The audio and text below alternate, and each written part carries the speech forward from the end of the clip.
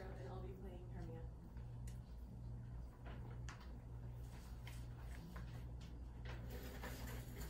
Oh, How now, my love? Why is your cheek so pale? How chance the roses they do fade so fast? Delightful one of rain, which I could well between them in the tempest of my eyes. I, for aught that I could ever see, could ever hear my of story, the course of true love never did run smooth.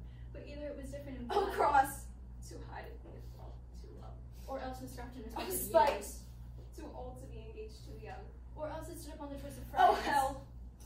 To choose love by another's eyes.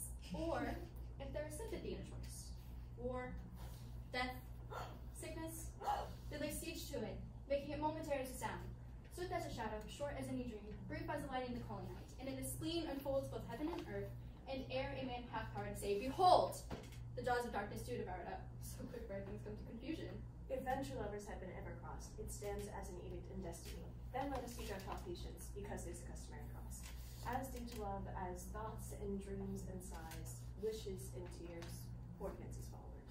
A good persuasion. Therefore, hear me, Hermia, for I have a widow aunt, a dowager, of great revenue. She hath no child.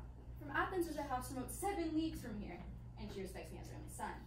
There, gentle Hermia, may I marry thee, and to that place the sharp Athenian law cannot pursue us. If thou lovest me then, still forth thy father's house tomorrow night, and in the woods a league without a town, where I did meet thee once the Helena, to do observance to a May.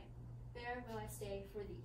My good Lysander, I swear to thee, by Cupid's strongest bow, by his best arrow with the golden head, by the simplicity of Venus's doves, by that which knitteth souls and prospers loves, and by that fire which burnt the Carthage queen, when the false Trojan under sail was seen, by all the vows that ever man had broke, in number more than ever woman spoke.